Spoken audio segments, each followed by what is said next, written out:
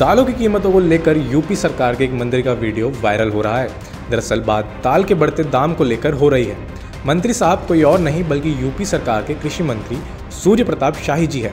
इस वीडियो में मंत्री जी प्रेस कॉन्फ्रेंस के दौरान कहते नज़र आ रहे हैं कि दाल की कीमत सौ रुपये किलो से ज़्यादा कहीं नहीं है। इस पर पत्रकारों ने उनसे पूछा कि सौ रुपये किलो दाल कहाँ मिल रही है? तो मंत्री सूर्य प्रताप शाही हंसने लगे। तो क्या सच में दाल की कीमत सौ रुपये से ज़्यादा कहीं है?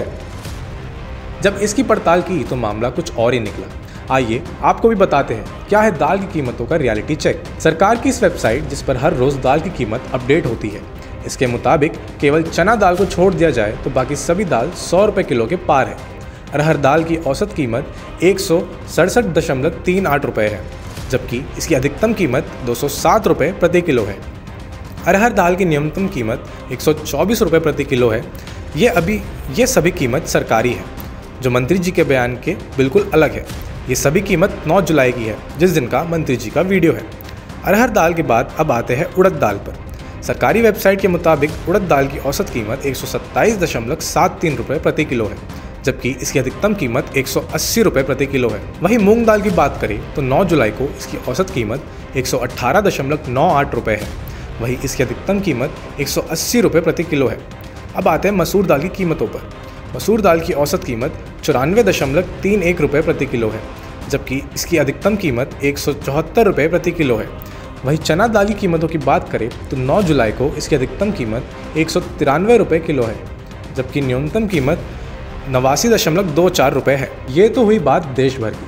अब बात करते हैं उत्तर प्रदेश की, जहाँ के मंत्री जी का ये बयान है डिपार्टमेंट ऑफ़ कंज्यूमर अफेयर्स की वेबसाइट के मुताबिक 9 जुलाई को यूपी में चना दाल की कीमत पचासी दशमलव शून्य सात रुपये किलो है। वहीं एक किलो अरहर दाल की कीमत एक सौ पैंसठ दशमलव तीन छः रुपये है। उड़द दाल की बात करें तो इसकी कीमत एक सौ बाईस दशमलव चार सात रुपये प्रति किलो है। मूंग दाल की बात करें तो इसकी कीमत एक सौ पंद्रह दशमलव सात तीन रुपये प्रति किलो है। हाँ मसूर दाल ज़रूर सौ रुपये से कम है यूपी में। इसकी कीमत तिरानवे दशमलव सात एक रुपये प्रति किलो है। ये सभी आंकड़े हर रोज़ की वेबसाइट पर अपडेट होते हैं। ये सभी पैच, ये सभी आंकड़े हर रोज़ वेबसाइट पर अपडेट होते हैं। ये सभी कीमतें 9 जुलाई 2024 की हैं। दालों के दामों से याद आया कि 2019 में चुनाव प्रचार के दौरान स्मृति ईरानी ने अमेठी की जनता से तेरह रुपये किलो चीनी देने का वादा किया। अब चुनाव आया तो अमेठी के हर चौक चौराहे पर स्मृति ईरानी के किए गए वादे को लोग दिल से लगाए बैठे थे अब हर जगह स्मृति ईरानी की तेरह रुपये किलो चीनी वाला पता अमेठी की जनता खोज रही थी। अब चुनाव परिणाम आया तो तेरह रुपये किलो चीनी वाला वादा स्मृति ईरानी पर भारी पड़ गया और वो चुनाव हार गई। वही अब देखना है कि अगर मंत्री जी के सौ रुपये किलो वाली दाल जनता खोजने लगी तो क्या पता स्मृति ईरानी वाला हाल यूपी में भाजपा का भी ना हो जाए।